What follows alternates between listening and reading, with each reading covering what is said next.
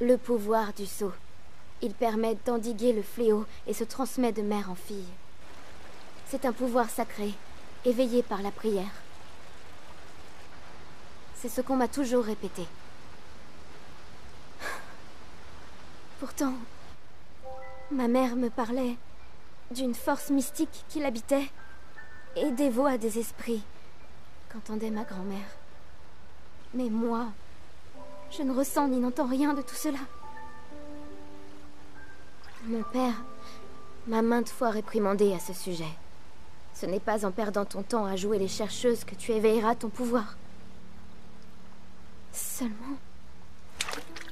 J'ai beau prier de tout mon cœur depuis ma tendre enfance et implorer la terre foulée par les anciens dieux,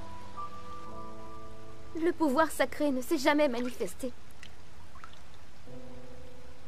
Alors, dis-moi, que puis-je faire de plus? Qu'est-ce qui ne va pas chez moi?